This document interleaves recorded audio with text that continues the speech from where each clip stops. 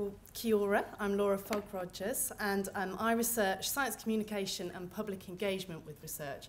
Previously, I worked at the Centre for Brain Research at the University of Auckland in New Zealand, which is where this research came from.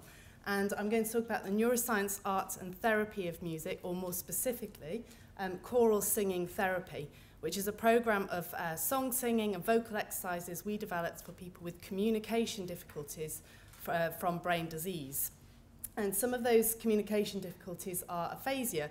You may wonder why I have Spartacus here. Well, he's the um, actor Kirk Douglas who had a stroke in 1996 and has written about his battles with aphasia.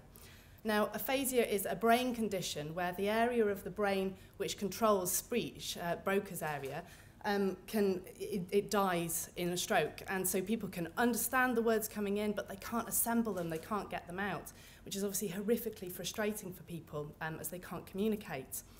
Um, there's other neurological conditions like Parkinson's disease, which Muhammad Ali has, and um, 90% of people have voice and uh, expression difficulties with a whispery voice, um, hoarse, stilted, uh, low expression, and again, relationship problems. And the amazing thing about singing is it gives people a voice. Um, so it's, it's quite miraculous when you see people who can't speak or can speak very little singing solos um, in choral concerts. And it's a, a, a crazy quirk of the brain that that can happen because singing is musical speaking. Um, so with the imaging data shows that our speech and singing networks overlap, but crucially, the singing networks cover more of the brain so that there's more to preserve if you have a stroke. And this means it could be useful therapeutically um, for the overlap and repetition that's involved. And in fact, some imaging studies with singing uh, therapies have shown brain plasticity. So the brain is changing and, and uh, readapting to give us uh, more use back rehabilitation. Singing has also been investigated for mood, for breathing, for well-being, with stroke, Parkinson's. So it's um, a very exciting scientific uh, therapy involving neuroscience. But of course, singing is also an art. We've got Gareth Malone here, um, the Army Wives Choir. And um, choral singing is suddenly a very glamorous activity to involve with. There's choral networks starting up all over the country with people getting involved.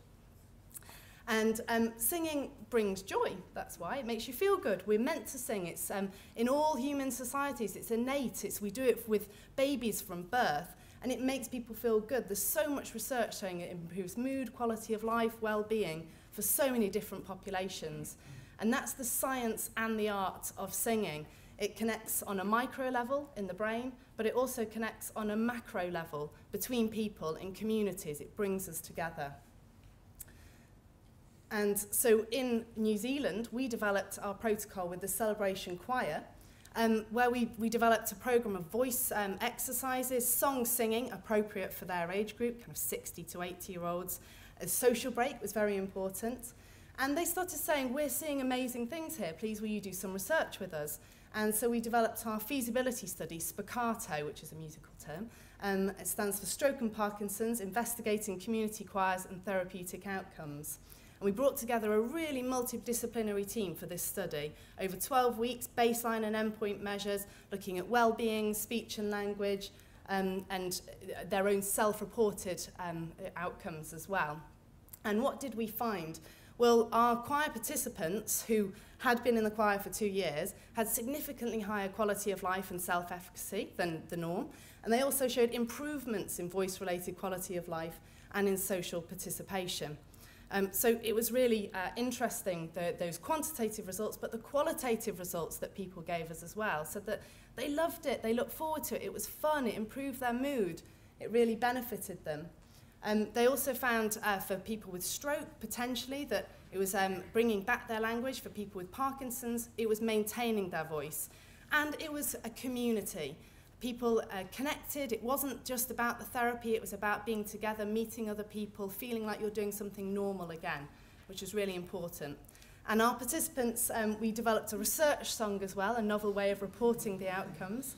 Um, and it's sung here to the, uh, the, tune, uh, the tune of We're on our way to the freedom land, Canon Lang, which is a, a, a folk song. Um, so I'll end with um, So we all love the celebration choir.